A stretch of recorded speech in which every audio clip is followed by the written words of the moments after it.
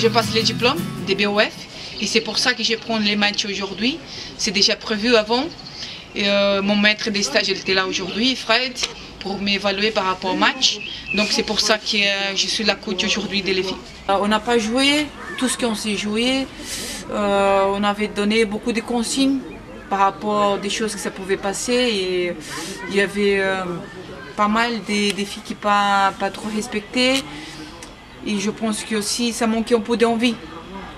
Donc je pense que les matchs ils pouvaient être mieux euh, par rapport à, notre équipe si on, allait faire vraiment euh, le boulot. Mais on était trop passifs aujourd'hui. Un première mi-temps un peu décevant de notre part. Je pense qu'on on s'est mis, euh, je sais pas si c'est la pression, si on s'est mis parce qu'il y avait beaucoup de jeunes en face et puis on n'a pas fait le travail qu'il fallait faire.